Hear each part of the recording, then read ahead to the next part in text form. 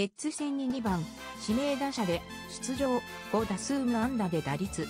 340レッツ96ドジャース、日時間25日シンシナティドジャース、大谷翔平投手は24日、日時間25日、敵地、レッツ戦に2番、指名打者で出場し、5打数無安打だった。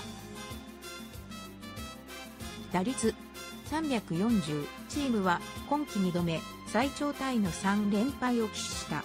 初回無視一塁の第1打席は、相手の攻守にも阻まれ3ゴロ、同点の2回1死2三塁では、夕ゴロで一時勝ち越しとなる打点を挙げた。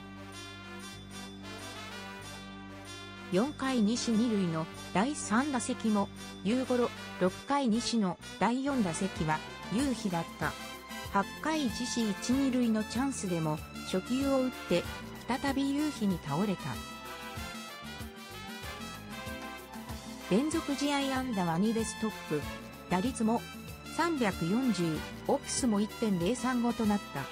チームは先発のパクストンが初回に3ランを浴び、先制点を献上。一度逆転に成功したが、5回に2番手ラミレスが乱調。押し出し死球で同点に追いつかれると、交代したベシアがインディアに勝ち越し満塁打を浴びた。両軍合わせて5個の死球を与え、球場は騒然となった。3連敗は4月20日、同21日のメッツ戦以来今季2度目。貯金は13になった。フルカウント編集部。